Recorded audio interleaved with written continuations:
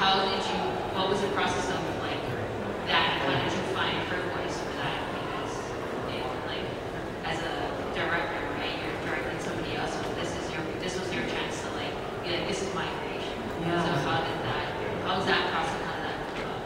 Well, I knew they asked me uh, to be on Critical Role, and um, I mean, I was the officiant at, at Travis and Laura's wedding, so we're all great, great friends. And uh, uh, they said, come up with a character. And I was like, whatever you want. And I said, okay. And not really knowing anything, I went uh, and I looked at what they had, and then so what, the, what don't they have? They don't have a warlock. I said, okay, well, what's a good race for a warlock? And everyone went, and the internet is just all, Tiefling! Tiefling warlock! It must be a Tiefling warlock! And I said, okay, yes, thank you, Google! And, uh, and I looked at what a Tiefling was, and my twin sister was big in into WoW, and she was playing a paladin Tiefling, and I was like, oh, that makes sense. So I'll do that. And then coming up with my backstory was we went to a con on the Big Island four years ago, and we walked out onto Hakuna outside of the spotlight, and the Milky Way just sort of exploded down upon us. And I've been obsessed with the stars and the moon my whole life, but the stars since then. So I just thought, well, again, in moments of fear, what do I know? I, I came from me. What's my safety place? What's something that comforts me? Is every time I go out and see the moon, I'm comforted. Day or night, I just look up and go, oh. Uh, so I knew that I wanted her to have something to do with that.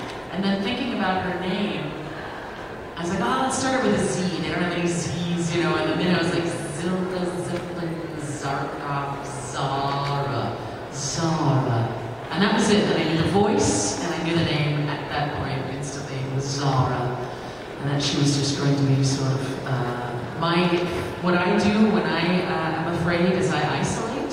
So I started with that. That's my truth. Is I am an extroverted introvert, so I started with isolation, and that's how she spent most of her life was in isolation. I was like, all right, I'll start from my truth and my place, and branch out from there. And then it just became what it was on the show, which is all stuff I didn't expect.